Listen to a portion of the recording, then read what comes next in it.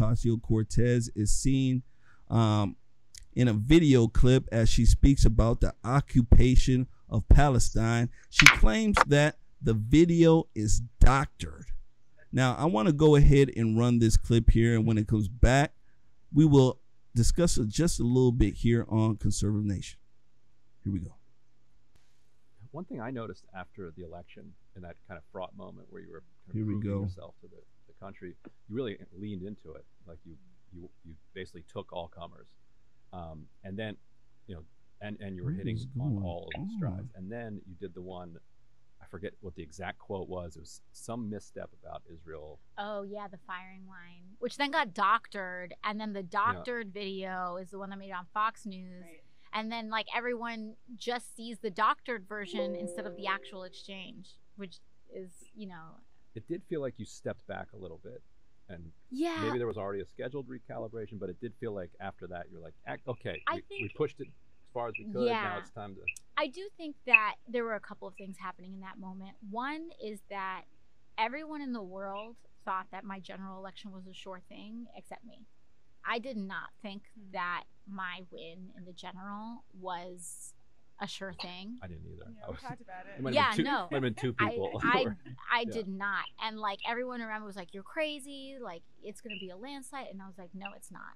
And we were getting a lot of evidence on the ground that that supported my feelings on that. And so I really did not want to reach over what I thought I could. And um, and actually, before that interview even happened, I had already agreed that that was going to be my last one, and it just ended up ending on a bad note. She's saying that this video is being doctored. Uh, What what do you think about her claims here?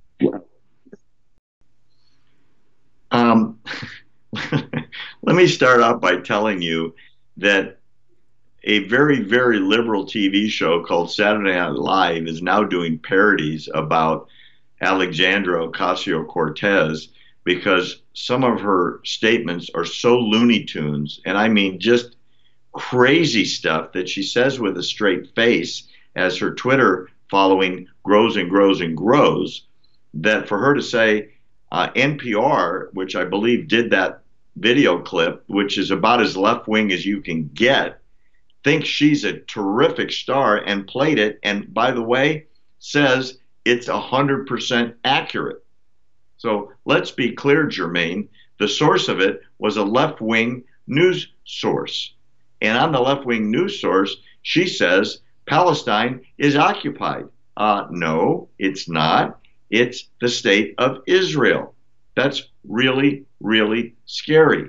This is the same lady that the other day said the world will end in 12 years, Jermain. Mm-hmm. This is the same lady that wants everything free from kindergarten through college. She wants free health care for everybody. She says that she, let me get this straight. Today she said she's cisgendered, therefore, she is a class that is suppressive to people that aren't cisgendered.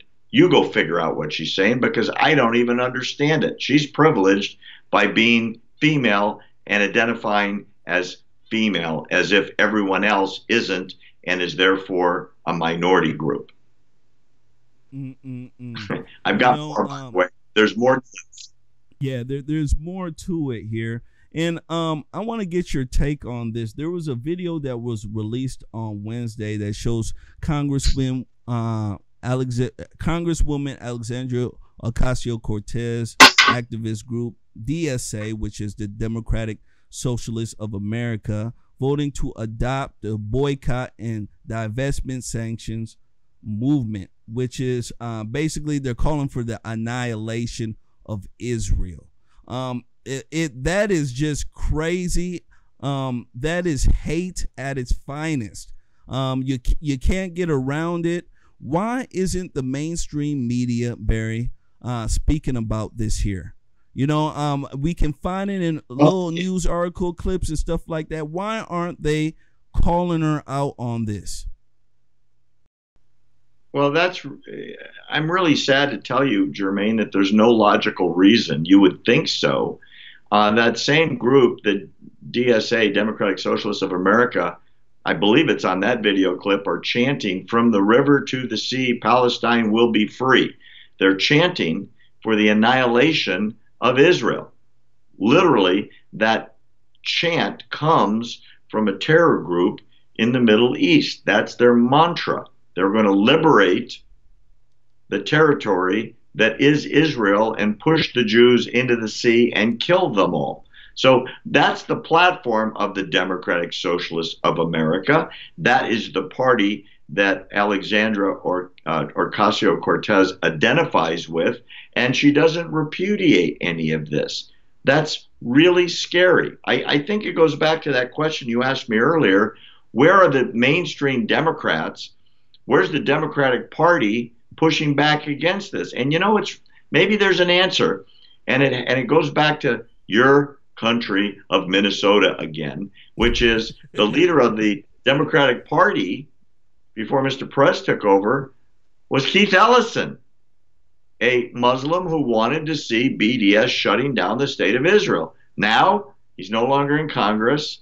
He's your attorney general, mm-hmm. in spite of the fact that he had his girlfriend go to court and say, Keith Ellison beats me up regularly.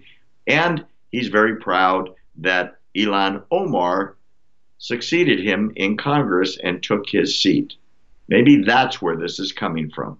The same guy that could lead a Democratic Party into believing this was okay is now left the party into another big job, and the guy that took over thinks it's great too. That's the party of Alexandria Ocasio Cortez.